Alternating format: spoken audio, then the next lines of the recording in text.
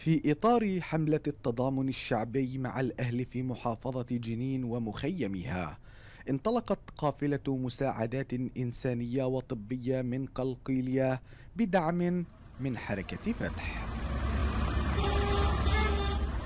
محافظة قلقيلية عبرت عن تضامنها والتحامها مع شقيقتها جنين.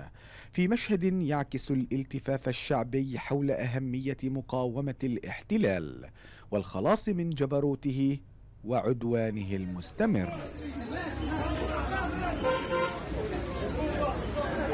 وكانت هذه الحملة انطلقت بمبادرة شبابية تزامنا مع محافظات الوطن. وذلك بهدف إسناد أبناء شعبنا في جنين والتأكيد على أن الجسد واحد والقضية واحدة. لتلفزيون فلسطين أنا للجدع محافظة قلقيلية.